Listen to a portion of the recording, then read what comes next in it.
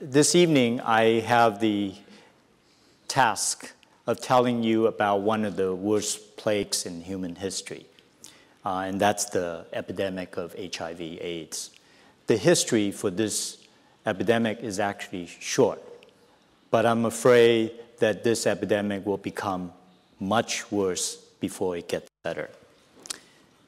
And this disease now is a household name, but it actually appeared first only in 1981.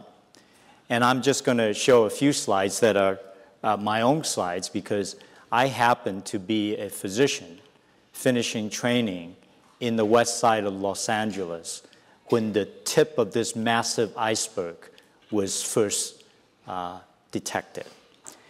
And it goes back to almost 30 years ago, in late 1980, when a young gay man came to the hospital, short of breath and with uh, skin covered with lesions, as shown here. And his shortness of breath was clearly due to bilateral pneumonia, as shown on the x ray.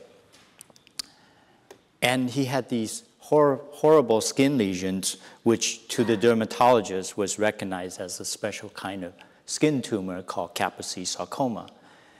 And we did not what, know what was going on with him, but he was clearly in respiratory distress.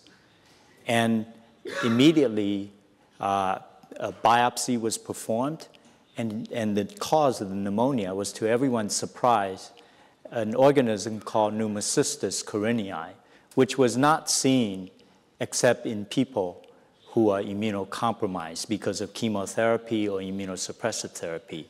Yet this young man had no such uh, medical history. It is suggested that the virus, even though it entered rather early, probably spread uh, very inefficiently and slowly. But again, that's our speculation. But what has allowed the virus to pick up momentum, particularly by the 1960s and 1970s, so by the time of 1981, when the first cases were recognized, it had already disseminated throughout much of the world. And the key factors that we like to speculate about include urbanization, which this figure suggests, and associated with that, population increases. Epidemic diseases follow population density increases. It's not surprising. And of course, epidemic diseases uh, will be transported with uh, greater ease of uh, access to transportation. And there may have been behavioral changes, and there's a lot of speculation whether some of the vaccination campaigns, uh, for example, those that took place in the 60s and 70s to, to stamp out uh, smallpox, whether some of those practices, if, if unsanitary from case to case, may have in fact helped to propel this epidemic in sub Saharan Africa. But the bottom line, once again, is we really don't know. These are all conjectures. And then, how did it escape detection for so long, if, if this scenario is correct? Again, I don't have an answer. We could think of possible explanations. Maybe early on the virus was not very aggressive and the disease was uh, more indolent. That's a reasonable explanation. Maybe it was just as aggressive, but there were many dead ends in which the virus did not spread further, so it was not recognized. We really don't know.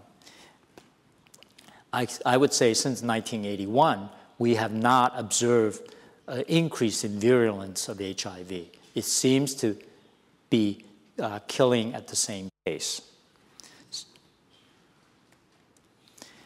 Once it got out Africa, it is pretty clear from the genetic evidence that it first went to Haiti. And that makes um, sense in that there were many Haitians working in French speaking uh, countries in that region of Africa.